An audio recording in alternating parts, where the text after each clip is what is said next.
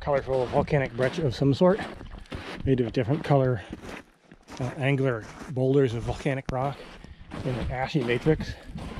You know, best guess for what would create something like this is probably um, a type of volcanic eruption called a dome collapse, where there's an, basically a, an extrusion of some sort of thick lava. In this case, it looks like this might be a dacite, which is a relatively silica-rich uh, lava. It's got you know, these rectangular crystals. There's mineral sanidine, which is a potassium feldspar.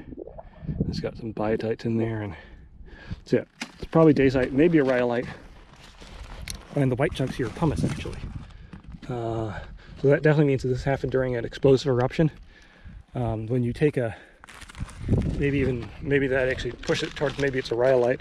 When you have a rhyolite that erupts, um, it has often a lot of, of gases in it, uh, but the magma is too thick for the gas to escape. So it's sort of like, uh, I mean, numerically, it's a lot more viscous than than peanut butter or or tar, or and basically this this lava is so thick that you could build a house on it, um, and the house would catch on fire, but it wouldn't sink into the lava because it's that thick, uh, and so the bubbles can't escape, and so when it erupts, um, there's still a huge amount of pressure of gas inside, so it actually pops like popcorn um, to form uh, this frothy volcanic rock full of bubbles called pumice, uh, which is what those little white blobs were back there.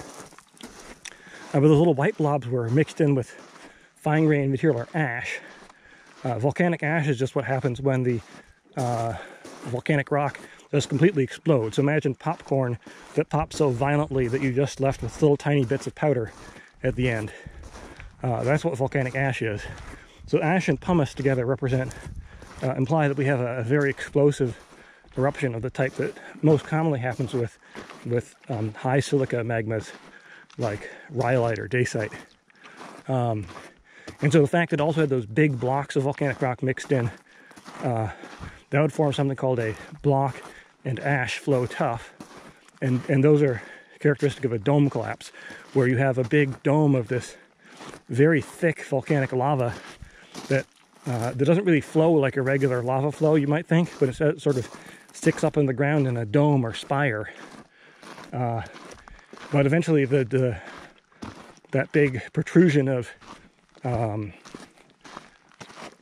uh, lava eventually usually cracks and then uh, falls apart. But when it falls apart, um, starts falling apart, that releases the pressure on the inside of the dome, um, which then allows it to, to, start doing this sort of popcorn thing.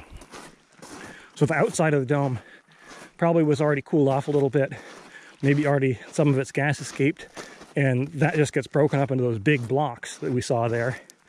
Uh, whereas the inside of the dome um, potentially could have a more violent eruption because it might still have more gas inside of it and then make the, the popcorn like pumice and the ash that then fills in the spaces between the blocks.